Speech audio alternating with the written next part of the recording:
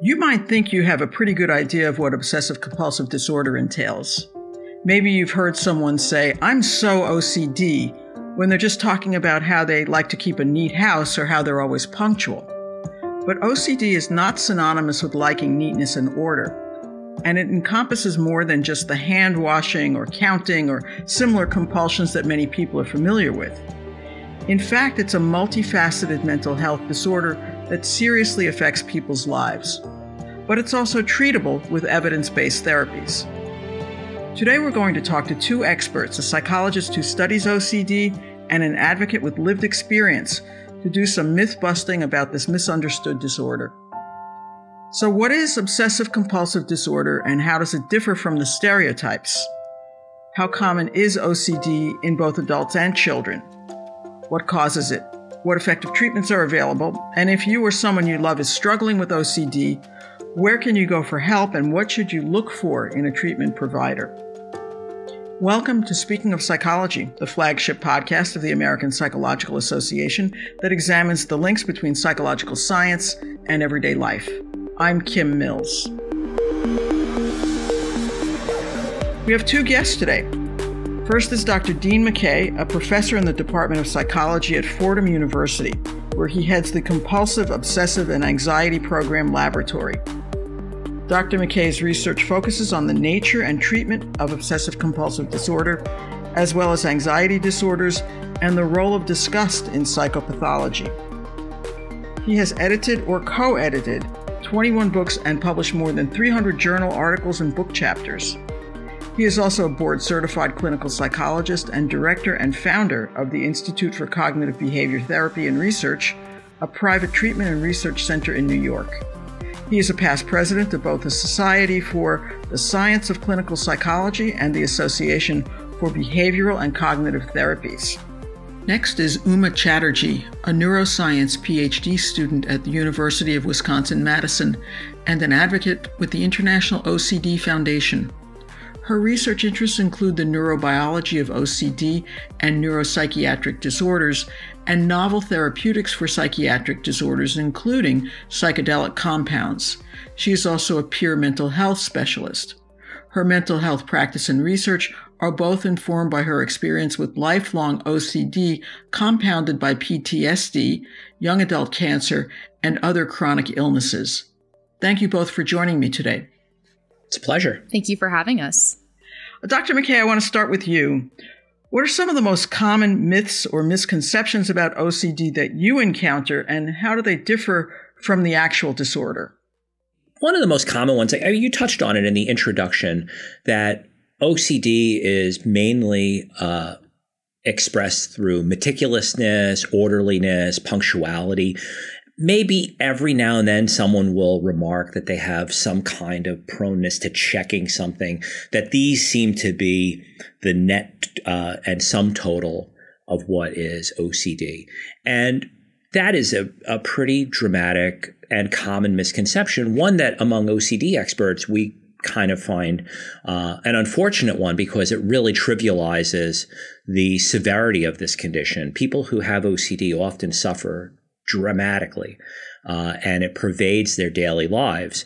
And the kinds of things that are more commonly expressed as uh, typical symptoms are things like severe washing related behaviors and an, an intense concern that they might get contaminated, uh, checking behaviors that might be really quite interfering with their social life as well as just getting out and being able to work and uh, engage in regular everyday functions intrusive thoughts that are just absolutely horrific and terrifying and difficult to control, as well as some of the kinds of things that are stereotypically associated with the condition, but expressed at a debilitating level. So, you know, when people say that they're orderly and that's therefore OCD, they really are minimizing the way it's expressed when people have it with true clinical severity. Now, to be fair, 99% of the population have from time to time symptoms that look a lot like OCD. The difference is the dimensionality of it. So we all occasionally, and for very good reasons, check things, try to keep things in order, wash. And these things are normative And so when someone says, I have a little bit of OCD, the answer really is, of course you do, because that's a consequence of being alive. Well, Ms. Chatterjee, you volunteer as an advocate for the International OCD Foundation to raise awareness and educate the public about OCD. Do you encounter these myths in the work that you do every day, and how do you respond? All day, every day. And it's in my advocacy, it's in sharing my lived experience, it's now as a researcher and sharing my research in research settings amongst people who you would think do understand OCD, clinicians and psychiatrists and researchers. It's everywhere. And I think it is really difficult to both be holding the professional aspect of um, having to explain what the disorder actually is, but also holding this sadness within me of, oh, so you're saying that the thing that crippled me and debilitated me for decades is just a quirk or an adjective or something that's flippant and doesn't even need the amount of research that it does. So yeah, it I I, I deal with it all of the time. It's most often portrayed is as a quirk or an adjective. People say, I'm so OCD all the time, which doesn't even syntactically make sense. Nobody says, I'm so obsessive compulsive disorder. That doesn't even make logical sense. And to Dr. McKay's point, yes, everybody, every single human being experiences intrusive thoughts or fears. They also sometimes might have habitual behavior, but the key aspect that most people don't experience is the disorder part. The fact that it could take at least one hour per day of your entire life. And for people with severe experiences like myself, sometimes 12 to 16 hours of our day, if not more, if we're not, you know,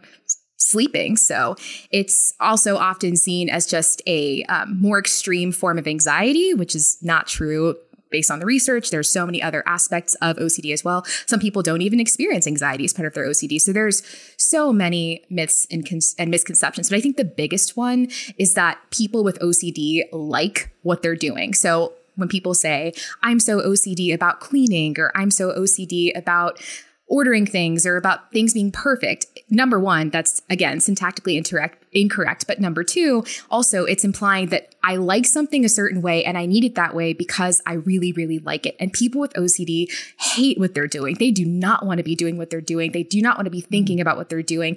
It is not a choice at all. So just really a difference between what's ego syntonic versus what's ego dystonic. So, Dr. McKay, we've talked a little bit about some of the manifestations, but there are different subtypes of OCD, right? Yeah. Can you explain what some of those are? Sure.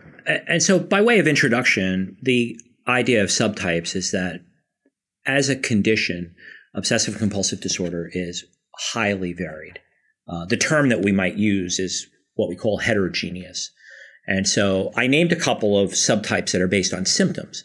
So symptoms could be in different categories, such as washing symptoms, which many people in the public understand to be associated with OCD. So, washing and concerns with contamination. Then, another, shall we say, symptom subtype involves checking stuff, making sure that things are uh, not going to pose a danger down in the future, like making sure the door is locked, making sure the stove is off. Those also kind of stereotypically associated with the condition, but again, when expressed in this rather extreme way. Then there's this category of symptoms that are primarily due to intrusive thoughts, like horrific thoughts of maybe unwanting, uh, unwanted urges to harm someone, uh, unwanted thoughts about blasphemy, uh, things that are in this forbidden realm where the person absolutely doesn't wish these things to happen, but they nevertheless occur to them. So those are some symptom subtypes. There are other expressions of the condition marked by things like a sense that things are not complete, uh, or a sense that I need to uh, get something just right, even though there's a kind of arbitrary designation as to what is correct or not correct, like the way things are placed on the table, or the way a door closes, and if it doesn't sound quite right, that you might have to redo it. Um, so that would be another manifestation. Um, in the introduction for my co-presenter for UMA. An emerging recognized subtype is when people have OCD and co-occurring trauma. Uh, we understand that in order to address that particular kind of co-occurring symptom presentation, it may require a different approach to treatment. So there's a variety of ways that this condition manifests that make it really complicated to treat when uh, when presented. And, and I guess foreshadowing a little bit where I know we're going to go for our discussion, it's what really calls for the need for specialized treatment. So, Uma, let me ask you um, can you tell us some of your story and have you uh, struggled with some of the compulsions that we've been talking about so far? Yes, absolutely. So, I, according to my clinicians, they, they're pretty sure I was born with OCD, and that's because of the severity of my symptoms and for how long I can go back and remember that I have been buried in obsessions and have just done compulsions to try to have any semblance of control without knowing I had OCD. So I also grew up in a first generation immigrant household with virtually no understanding of psychiatric conditions, mental health conditions, or the concept of mental health. So it took me very, very long to get a diagnosis and proper treatment. But outside of a lack of access to proper care, it was also hugely perpetuated the, the time and the delay to my proper treatment by the complete lack of understanding of what OCD was. So my mom used to bug me about cleaning my room growing up. And I would just be upset with her and say, Gosh, stop being so OCD about cleaning. Like I was one of those people as well. I had no idea whatsoever. But from a young age, I was severely, severely anxious and disgust prone. And I had these obsessions as a young kid of what if my parents don't come home? What if they die? And I was taught these prayers growing up to be able to try to control reality, or at least that's what my brain interpreted them as. And so they, these 12 12 prayers. I would have to do them 39 times every single time I had this thought in order to neutralize it. And it sounds absolutely absurd, right? And that's just the beginning of my whole OCD story, but that is just largely how it showed up as a kid. But I think it became even more pervasive as I, you know, grew up and something very horrible about OCD is that there's really no bounds as to what it can latch itself onto. Like whatever, you know, a fear, like whatever fears one interacts with, especially going through traumatic experiences, like OCD will latch on to absolutely everything. And so for me, it started taking up every single aspect of my life. It was to the point where I was so afraid when I was around 18 to 20 years old of being homeless that I couldn't even turn the lights on. And I had to sit in the darkness because I was so afraid that what if I spend too much money on an electricity bill and I lose all this money and I become homeless and I, you know, can't function anymore. I couldn't go to the grocery store without spending eight hours there. And this is not a choice. Once again, this was absolutely debilitating. I would go to the grocery store and I had to compulsively compare every single product. Like if I had to get toilet paper, I had to compare every single product and figure out what is the best decision, what costs the least amount of money per unit, what's going to get the job done. And then once I would actually finally make that decision, eight hours later, not exaggerating, I would then leave. Then I'd return back to the store to return it. I would go make a different decision. I would just be consumed. I couldn't function. I couldn't live my life. And it was to the point where, you know, it got worse worse and worse and worse um, through my adolescence. What's important to note is that I was hospitalized for attempts on my life, and largely that was because of OCD. But I was diagnosed with generalized anxiety disorder, a major depressive disorder. And yes, I did and do have those, but I also had severe OCD and nobody knew it because, yeah, what I just talked about were my physical compulsions. But number one, I didn't know that I was supposed to talk about it. I didn't know it was abnormal. Nobody had made me feel like this is something people don't do. It's really easy to hide with OCD. But also, what we're going to get to later, mental compulsions, those were the vast majority of what I experienced. I was constantly just ruminating, mentally reviewing my memories. I had pathological doubt about everything that happened to me. And so with that, I went first misdiagnosed or first undiagnosed till I was about 13. Then I was misdiagnosed until I was 22 years old. And at that point, when I was 22, I had dropped out of college with a 1.83 GPA because I could not function whatsoever. I would go to class and I would be so consumed by what if I don't understand everything? What if I don't write everything down? So I'd spend my entire college class trying to write every single, literally every single word that the professor said down. I could not skip over a word.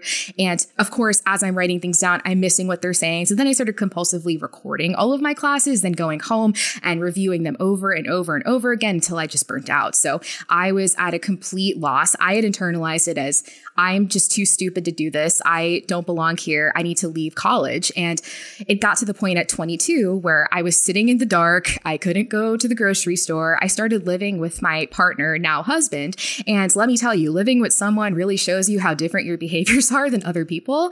And so when I started like freaking out at the fact that he would turn the lights on or that he would use like a whole toilet, uh, a whole piece of toilet paper, God forbid, or a whole piece of paper towel. It sounds absurd, right? But that's the thing about OCD. What some of the worst parts of OCD is that as sufferers, we have a sense of the fact that this is illogical and we cannot override it because of the neural circuitry in our brains. At least without treatment, we can't override it. So, all of that to say, at 22, I was finally diagnosed, but that was because I started realizing that I was doing things repetitively. I went to a psychologist. They said, yes, you have OCD.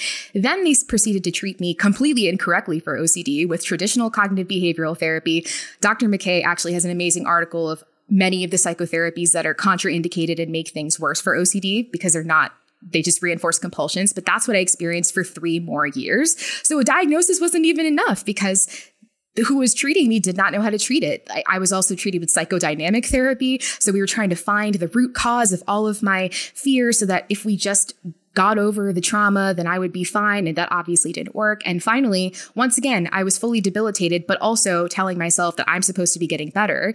And what really got me to finally get evidence based treatment was the fact that I kind of had just started sitting on my hands metaphorically and literally to not do compulsions. And at that point, from 22 to 25, I thought that compulsions were just physical. So I was like, if I just don't do these compulsions, I'm fine. And so I would sit on my hands and I would not do them. My husband was around, so he held me accountable to it. But then after the pandemic, he went back to work. I was alone at home doing school and I had returned back to school at that point and I realized I started doing my physical compulsions again. I realized I had relapsed. So I started Googling. And with my 25 year old brain, I was then able to finally found, find the International OCD Foundation. I realized exposure and response prevention was a thing, and that was the actual treatment for OCD. I could not believe that in 25 years I had never heard of this and that I was being incorrectly treated this whole time. I finally started engaging with ERP. I gained so much of my life back. I went from someone with a 1.83 GPA to coming back to school, retaking all of my classes with straight A's. I got my bachelor's in psychology. I got my master's in neuroscience at the 4.0. I'm now a PhD student at the University of Wisconsin Madison. I'm studying this very thing. My life looks completely different than it did riddled with OCD. And why I'm so passionate about talking about this is because so many people, like my story is not unique, going so long incorrectly treated, so long misdiagnosed, and this definitely needs to change. That's quite an incredible story. And that leads me to ask you, Dr. McKay, how does this get diagnosed? I mean, is it is there a test that you give to people? Uh, do you do brain scans? How do you find out that somebody really has true OCD? Sure. And, well, look, before I start, Uma, I had not heard your story before. Really impressive. So I'm really happy to see that you've managed to overcome your OCD and come this far. Really, congratulations. And um, it's nice to see you giving back. So, as far so coming to your question, Kim, it's a great question, and the story that Uma told is unfortunately oft told about the misdiagnosis and mistreatment phase on the journey to finally finding correct treatment. So, if we start with one thing that I hope will come from this podcast is that more people will understand what it takes to try and identify it. There are a number of very brief, readily administered tests that could be given that would at least give a hint as to whether or not more testing should be done to diagnose OCD. Most of it is frankly self report in nature. We don't yet have a definitive brain scan to diagnose OCD, nor do we have really for any psychiatric condition a good, reliable brain scan. But we do have tools at our disposal that, in the hands of a skilled clinician, can help point one in the right direction for how to measure this. So, one of the measures is there's one that's freely available. It's really brief, uh, called the Obsessive Compulsive Inventory.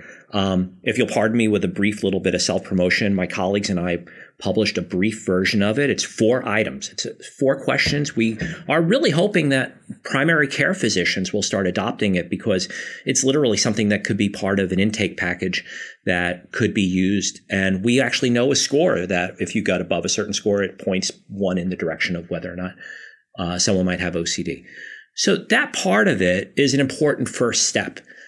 After that, it requires a trained mental health practitioner to then ask some important follow up questions because a self report questionnaire alone is really not enough, but we need to really know more about the setting, conditions under which this occurs, the degree to which it interferes with one's life. I mean, Uma's story is really quite uh, intense in its conveyance about how much it can debilitate one But also, her story is not uncommon in that many people who suffer it for so long are unaware that, wow, this is like, I don't have to live this way. I don't have to be consumed with the cost of things or whether I'm safe under these conditions. I mean, many people are kind of unaware of it because they get debilitated, but it also becomes something that they accommodate to. Um, so, so those are some things that are worth paying attention to. I think practitioners can do a better job of it. Most sufferers go to primary care physicians and other medical and health professionals before they ever show up at a psychologist or psychiatrist's office. Um, and so I think there are some ways that this could be better understood in settings that people first go to. And it will save people just a ton of time uh, and, and save them a lot of frustration and pain Let's talk for a minute about treatment. Now, Uma, you've uh, you mentioned a few things that, that you were, that treatments were administered to you that didn't work. And I want to ask Dr. McKay, what, what does work? What are the sure. proven treatments? And then what are the treatments that exacerbate the problem? Sure. Yeah. Yeah. So the one established evidence-based treatment or, um, you know, what we call evidence-based treatment is that it's been studied carefully under a variety of conditions by independent groups, right? So it's not just one clinician or one researcher who said, I have this idea, and then they keep doing it. It has to be independently shown. And the one that has actually been demonstrated for decades now is called exposure with response prevention, which Uma referred to before. Now, the term I, I, kind of feel funny about the term because it's it's got it's unfortunate in a way. It's got like a public relations problem.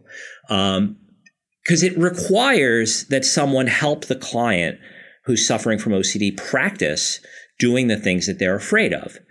And now, in the hands of someone who may be unskilled, this can be really a problem. And so Uma made reference to harmful treatments. One way that treatment can be harmful, like almost any other treatment, by the way, there are opportunities for people to do it poorly, in which case it comes out badly. So if we think about the day-to-day experience that the way the way Uma described her daily life. Imagine, if you will, you're standing on the edge of a building with no guardrail and the fear you might feel. That's probably, if I may, Uma, and I correct me if I'm wrong, I imagine, and what I've heard from other clients, that's the intense level of fear that they feel each day as they try to make these basic decisions. And so in order to treat this, we try to help people go through in a very gradual, paced, manageable way to encounter these things that they ordinarily might fear and then practice it between sessions. And as they do this more and more, it becomes less scary. They find, oh, look, I can actually do these things and survive. Um, and as they do that more and more, you can do more and more advanced things, and people find freedom in their life by doing it. So that's the main treatment. And by the way, it was the first effective treatment for OCD. Prior to that, in 1965, there was an article written that said if someone comes to your office and they have OCD, do not treat them. Everything you do will harm them. That was literally the words of the in the American Psychiatric Association. The very next year is when exposure with response prevention began to get developed. So it's about oh, almost 60 years that we've had variations on exposure with response prevention. The extension to that is that some specific forms of cognitive therapy are useful. So Uma made reference to traditional cognitive behavioral therapy. Traditional cognitive behavioral therapy is where you help someone identify a way of thinking about things and you say, hey, let's challenge those assumptions. When you do that with OCD, it actually backfires badly because people will say to you things like, well, let's say if I use Uma as an example, if I may, Uma, uh, since you expressed it so perfectly, the symptom expression, it just it's too compelling for me to not go there. So if Uma's in the store and she's saying, I, am worried about buying baked beans because I don't know if I could spend three dollars on this can of baked beans. Someone might ask you to then go down the rabbit hole of, well, what is the evidence that if you spend $3, that is going to be a problem? And you get into this cycle that really basically is referred to as reassurance, which is basically a process that people with OCD probably do already. And that just makes things worse because now, rather than demonstrating that, oh, I can spend $3 and not be destitute, they're instead getting reassurance that lasts very briefly. So that form of treatment is actually bad.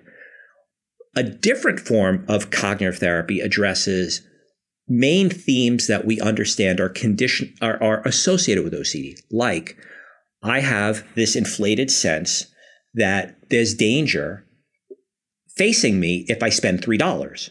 What is the danger of spending three dollars? Right? You start asking a different set of questions. Uh, and there's a collection of these that we can think of. There's uh, concerns with perfectionism, concerns with responsibility. So people who have thoughts about harming others, they're worried that their thoughts have the power to lead them to action, and therefore they're more responsible for what might happen later on to people, even if they just thought about harming them, but they never did anything. Uh, there's what they call overimportance of thoughts. So if I think it, it has greater potency just in general. There's what we call uh, overestimation of threat. There's intolerance of uncertainty. These are some of the main ways of thinking that people with OCD struggle with, and that cognitive therapy specifically for the condition is used to address. Uma, I want to turn to you now and, and ask you if uh, you've gotten some of this treatment, you seem to have your life on a good track right now. Do you have to constantly go through these exercises to keep yourself from slipping back into having the OCD symptoms? That's a really good question because I think in the answer touches on a lot of aspects of recovery. So for me, I started exposure and response prevention in 2021 and it is now 2023 as of this episode. So I as Dr. McKay mentioned, I have comorbid OCD and PTSD. So that has complicated treatment a little bit. But overall, my trajectory of treatment is pretty common, which is that there is a lot of gains as soon as one starts doing ERP and they get under they understand how it works and there's enough psychoeducation to buy into, if you will, ERP. But then from there, I mean, we, so OCD is a chronic condition and that can sound scary and it is, but with the proper tools, as you just talked about, I, first of all, I'm still in ERP. I'm doing it right after this episode. We're going to be downloading on this episode. Also, it is a, it's a practice for me because I have come down from the, from scoring extreme on the Y-BOCS, the Yale Brown Obsessive Compulsive Scale that assesses the severity of OCD and diagnoses it sometimes. Um, I've gone from ex- extreme to severe. Sometimes I'm moderate to severe. So for me, my OCD is very strong. It I have recovered enough to gain my life I, I wouldn't even say back because I didn't really have my life, honestly, before treatment. Um, it was a very limited life. But with that being said, I still struggle deeply and there are lots of um, themes and compulsions that i'm still working through myself right now. So i struggle like we I, I, talked about before with mental compulsions and they feel more difficult to deal with because it kind of feels like thinking but they're actually it's just a lot of compulsive thinking and um, themes that are more deeply rooted. So i think for me um, erp has been extremely helpful very quickly with um, almost more surface level obsessions. And I don't say surface in a way to diminish the heaviness of how much it impacted my life, but it really just feels more like this is OCD. I understand this is OCD, so I will do ERP and it works much more easily. It's also with physical compulsions, but for things much more related to honestly taboo themes with harm, with the fear of hurting other people, with my thoughts coming true. Because what I want to say is, um, adding on to intrusive thoughts and harm, people with OCD, or I guess everybody has intrusive thoughts. Everyone has a random thought of like just abhorrent things of things happening to people like what if i stab my dog? Like what if you know i'm driving under the bridge and it falls on me? And you know most people without ocd are able to be like that's a weird thought. Okay like moving on. My brain just like did something. People with ocd have such a hyper responsible response to that thought. It's like well what if that thought's true? Like what if i actually want that? What if and they don't. They don't want it at all. They hate that thought. They do not resonate that thought. It's ego dystonic all that to say those are what harm thoughts are, and it can extend to literally anything ever, and they're very scary. Um, those are some of the harder themes for me that I'm still working through in recovery. So, yes, it can work in the short term of like you do your sessions and you learn ERP and you move on with your life. Also, in the advocacy and community space for OCD, we talk about ERP being a lifestyle, like because OCD can kind of latch on to anything that's scary in our life, especially when we, the more we care about it, the more it can latch on. And so we have to keep doing ERP and keep um, understanding that we can tolerate the obsession and not do compulsions, which sounds very simple, but is extremely difficult. You know, if, if I could interject for a second, and, and maybe this is a helpful way for listeners to understand a philosophy that guides treatment for OCD. And to Uma's point about this being a chronic condition, what that means then is one has to take care of themselves in a very specific way. And the comparison that I use for clients that's sometimes reassuring, I use a dentistry comparison. So when you go to the dentist, you go regularly because you know that that's good for your teeth. You also, every now and then, when you go to the dentist, the dentist says, Oh, you need a filling or you need a root canal. And that means you're going to have to go a little bit more frequently. But you still have every single day a certain minimum level of care and maintenance that you have to do for your teeth. You have to brush your teeth. And sometimes, like brushing your teeth is not that great. Like sometimes people get sensitive gums, or you get like a piece of popcorn stuck between your teeth, and you have to deal with that, right? It's like a nuisance. When people get well enough with OCD that it's really better managed, they still need to do this regularly. And there will still be days where they go, Oh, wow, you know, today was a tougher day. I had this intrusive thought of harming someone. It was a lot stronger. It kind of reminded me of what it was like six months ago. And that's kind of like a brief filling that needs to be dealt with, right? Like, and every now and then, actually, it might be even worse. You're like, wow, you know, like, I'm really stuck on this harm thought, and I'm really concerned again about a whole litany of things with con- germs and contamination, well, that's like now the root canal. So we really have to view it more through this lens of regular maintenance and, and how to achieve wellness by integrating this component of treatment into your life, beginning with a period of time where it might eat up a lot of time, and then moving to a period of time in your life where it might be a regular daily occurrence. And I also want to add on to that analogy really quickly because I know I said it was chronic and that could at face value be taken as, oh, well, that's just so unfortunate. Like, why even do treatment when I have to live with it my whole life? Well, kind of with the analogy of having maybe a cavity that you didn't get treated for like 10 years. I had one for two years, so I know what that feels like. And just the amount of pain yeah. and it taking over your mouth all day every day. Like once you get your cavity filled and then you brush your teeth and you might get a cavity again but for the most part like until you get that next cavity you're still living in far less pain and in far more freedom. Mm-hmm. so it's still worth getting right. the cavity filled and still worth um and, it, there's still so much freedom. So yes there's a lot of hope with ocd even when it is chronic. Exactly. Right. Right. I, I love that. That's great. Thanks for building on that So an, another question occurs to me going back to something that Uma said earlier, which is that she thinks that she was born with OCD. And I want to ask you, Dr. McKay, are people born with it? Is it acquired? When does it first manifest? How would you know if you're seeing sure. it in a child, for example? Yeah. So, um, so we usually think of OCD as having two distinct ages of onset. Um, there's a young child version. And so children who develop it where it's really evident to everyone around them, usually around the ages six or seven. Um, what makes it a little more complicated is that there's a developmental stage where children exhibit compulsive behavior, uh, where it's expected and normal. Uh, and so when we think about the birth of a child who may have a future with OCD, they probably temperamentally do exhibit it early on. We don't know definitively how someone arrives with OCD, but we do know that there are certain dispositions that increase the odds. Um, and those kids usually develop it early. There's then a, a little, a little more later onset, which is in the teen years. And by the way, uh, for listeners to this podcast, if you've had other people talk about other kind, uh, psychiatric conditions, most conditions have an age of onset in the teen years. The teen years are a period of intense social stress that is a um, condi- a way in which a lot of different anxiety disorders, depression, and other psychiatric conditions show up.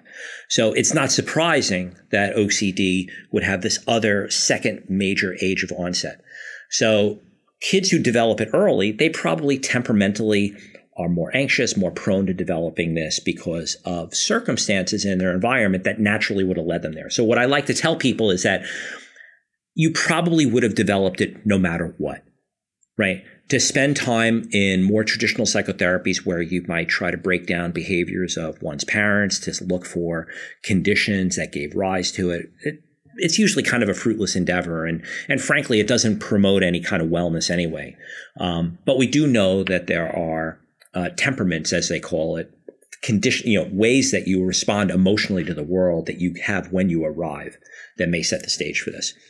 Now, Uma, you've talked about having some comorbidities, some some other issues in addition to uh, having OCD. How how has that affected your overall well-being and is that really common as you're you know dealing as as an advocate do you see that a lot in people yeah. So there's actually, in terms of the research done for OCD and especially for therapeutics, namely right now, um, there's a lot of research being done with ketamine and psychedelics for OCD, for example. A huge problem that researchers are facing is that they have a quote unquote dirty population, meaning that people don't just have OCD, they also have many other comorbid disorders. And so we're not truly sure like if we're working specifically with OCD. And I think all that to say that it's very common to have comorbidities, especially I think some of the highest ones are major depressive disorder, generalized anxiety disorder. One of them that I'm very particularly interested in is post traumatic stress disorder.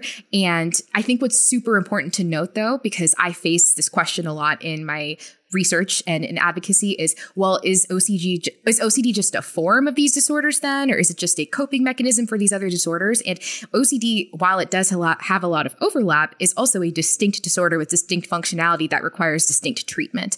But to your question of my overall wellness I think just on surface level, having these comorbidities and the fact that it was far easier to find my other disorders before OCD just delayed the treatment that I could have received for so long, which really um, wrecked me for so much of my life. And I'm working through the grief of how much life I lost due to undiagnosed and untreated OCD. I mean, like the amount I have gained in my life in the last two to three years from proper treatment, like it's just mind blowing what life how how much is possible for my life with proper treatment. So I think on surface level, just those comorbidities kind of mask the OCD, but also in general, like dealing with so many conditions at once and the severity of it all, it's it's really taxing. And I think it's hard to kind of parse them entirely apart as to what's the most debilitating. But I will say, because of the added burden of OCD being so underdiagnosed, and also because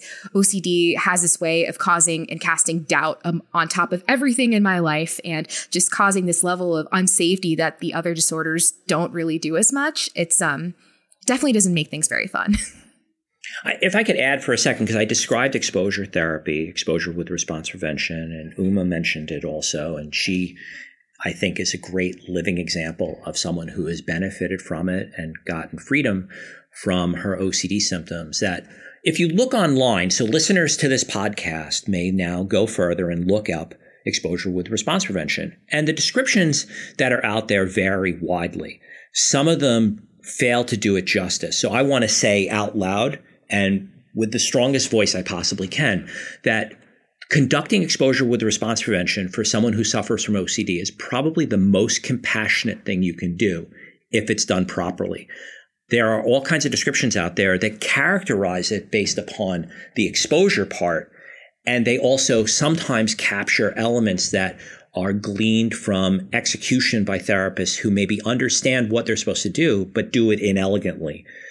And so that's an error of mis of blaming the treatment when actually it was due to an inartful or unskilled therapy execution. So I can't I can't stress it enough. It is really the most compassionate thing you could do. It provides the fastest relief of any treatment we know when done properly. And so I really feel like it's so important to really highlight that for anybody listening. What about drug therapy, though? I'm wondering, since Uma brought that up, are, are there drug therapies that are effective for OCD? So there have been a lot of drugs tested for OCD and are on the market for OCD. That also has about a 45 or 50 year history in the uh, medical research literature. Uh, the one drug that got this started is called clomipramine. Uh, trade the trade name is Anafranil. Um, the challenge with that drug, as I understand it, I'm not a medical doctor, but I know enough about medication that I could talk about it with mild competency, uh, is that uh, there are side effects that people find to be unpleasant. Uh, the newer uh, antidepressants and the class of drugs, by the way, that are most likely to be used for OCD are antidepressants. So clomipramine was the first that really showed benefit. Uh, the side effects people find to be difficult to tolerate, though, And so the newer ones, and when I say newer, it's like as of Prozac and on, so it's still like a 35 year history, are better tolerated medications. So most prescribers who treat OCD regularly start with newer serotonin reuptake inhibitors. So the neurotransmitter that's been implicated in OCD is, neuro, is serotonin. Uh, Prozac is one drug that's often prescribed. Luvox, aka um, both, both of these you can get generic. So fluoxetine for Prozac, fluvoxamine for Luvox, uh, sertraline, aka Zoloft, is also widely prescribed. Newer medications than that are things like um, Lexapro, uh, which is commonly prescribed.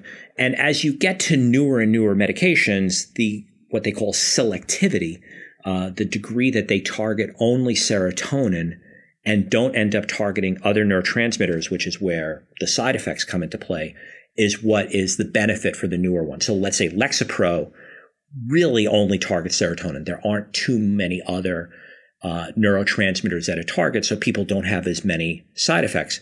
The downside is that the research suggests that they may not necessarily provide as much benefit. And the bottom line with all of this is that most of the research has suggested that medication alone is generally not sufficient. So most sufferers at some point probably will need to meet with a mental health professional who does not prescribe in order to help alleviate their symptoms. But medication can take the edge off, and some people find real, meaningful, and lasting benefit from it. So we should really pay attention to that. It's an important facet of how treatment can be done properly and comprehensively the neuroscientist in me wants to just add a few more things to that. Um, Absolutely. A, a yeah. newer line of research too is on uh, glutamate modulators. So glutamate is an excitatory neurotransmitter that's also um, implicated in OCD as well. So that's being looked at as well, as well as psychedelic treatments for the purposes of modulating many other types of neurons and neurotransmitters. Additionally, I think when people hear the word antidepressant, they think like, oh, so it's just a form of depression. It's not. And antidepressants do help with depression, but also they help with many other things because they're acting on serotonergic neurons. Also, specifically for OCD, patients tend to need a far higher dose of an anti of an antidepressant or an SSRI than people than just for depression. And the last thing I want to say is just exactly um, highlighting what Dr. McKay said about the research showing that yes, of course, like medications can make an impact, but they typically need exposure and response prevention, or there's far higher and more positive outcomes with exposure and response prevention, especially in comparing if one just did ERP versus medication. If they had to pick one or the other, which is not the case, but if they had to, ERP is more efficacious than medication alone, and medication can be adjunctive and helpful as well, but ERP is the cornerstone of treatment. So, just to um, tie up uh, loose ends here, let me ask an overarching question to, to you both, since you're both doing work in these areas. Uh, what do you consider the big unanswered questions, and what are you working on now? Where you're really hoping to maybe break through? Uma, you want to take that first? I, as a neuropsychopharmacologist, want to understand why on earth OCD brains exist, what what is the neural circuitry, what exactly is going on. So hopefully we can develop novel therapeutics and novel interventions. I also think that with the research that's already been done, it's already pretty evident that there is a neurodevelopmental component and that above all, it is a brain disorder. It is not a choice. It is not a quirk. It is not an adjective. In that there are there are unique brain circuit features that are giving rise to these horrific experiences in people. I also want to understand if there are differences in physical versus mental compulsions in the way that it is enforced in the brain, because it seems to be um, like there's sometimes a divergence in the way people recover in that way, at least in my experience and others as well. And I think Dr. McKay is also doing amazing work to further the field and just accessibility and understanding of this disorder. So I'll let him take it away as well.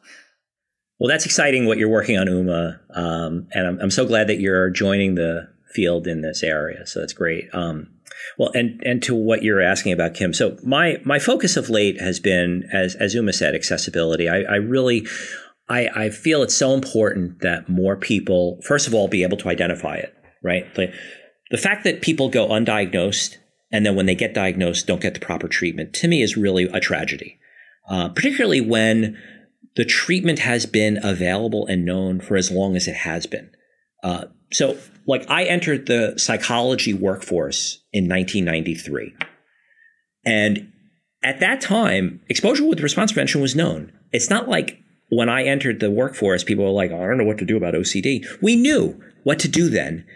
And here it is now, all these years later, and there's still a poverty of availability of treatment. To me, that's that's like if you said we know penicillin works, but we can't get it to everybody. So that's to, to me is really just horrible, and we need to do better uh, in that front. At the same time, there are these giant areas that we don't really f- fully understand yet. So we really haven't talked about it. And it's probably a topic for a different podcast, frankly, is well, what is the role of some other emotional states? Uh, the focus of our discussion was anxiety, right? Most people with OCD immediately report, I'm anxious. This is terrifying. But about 50% of all sufferers, whether it's their main symptom or it's a secondary symptom of OCD, struggle with contamination concerns. And that brings into the focus things around, right, like Uma. Uh, and what suddenly gets wrapped up in this are things about disgust. And so I only talk about it briefly. So this, I guess, will be a teaser. People who are listening, email me or invite me to another podcast. Uh, disgust is designed at its core to prevent, uh, help prevent us from getting poisoned by stuff uh, whether it be through our skin or through our mouth. Uh, and so this is an animating focus for a big portion of people with OCD, not to mention other uh, other psychological conditions. And we don't really know what to do with that yet. I mean, we have kind of a sense, but we're really not good at it yet. Uh, so that I think is one of a number of important frontiers that we need to deal with. And and Uma will appreciate this. We know for disgust, whole different neural circuitry is involved. The one, the brain areas involved in fear are not the same ones for disgust. So that means we probably have to deal with it differently when it comes to psychological treatments or any other kinds of medical interventions. And I want to come full circle to where we started at the beginning about the misconceptions of OCD, because as Dr. McKay mentioned, treatment is available, resources are available, but why are people going so long misdiagnosed and untreated? Largely, that's because OCD faces a unique barrier that other psychological disorders don't, which is this complete misunderstanding and misrepresentation of what it is. And so I think bridging that gap really starts with episodes like this on large platforms where we get to raise awareness for what real OCD is and making sure that people are more aware early on that OCD is not a choice. It is not something people like and that repetitive thoughts, intrusive thoughts and repetitive physical and mental behaviors can be a disorder that they can be you know treated for so that just full circle. This is why we need to raise awareness. This is why advocacy exists on such a large scale for OCD specifically, and why people like me dedicate their lives to talking about it. It's not just because we want to talk about how hard our life is, it's because we're trying to make sure other people don't suffer as long as we did unnecessarily. Well, I want to thank you both for joining me today. This has been a fascinating conversation. I'm sure we could go on longer. And uh, Dr. McKay, maybe we'll get back to disgust at some point. That is a, a topic that I would like to talk about. So I, I think I think Uma should join us for that. Oh, okay. Absolutely. yeah. We, we, we may all meet again then. so. Absolutely. We're a, we're a team. That's right. All right. well, th- thank you both. It's been really great. It was a pleasure. Thank you so much. You can find previous episodes of Speaking of Psychology on our website at speakingofpsychology.org or on Apple, Spotify, YouTube, or wherever you get your podcasts. And if you like what you've heard, please leave a review. If you have comments or ideas for future podcasts, you can email us at speakingofpsychology at apa.org. Speaking of Psychology is produced by Lea Winerman. Our sound editor is Chris Condayan. Thank you for listening. The American Psychological Association. I'm Kim Mills.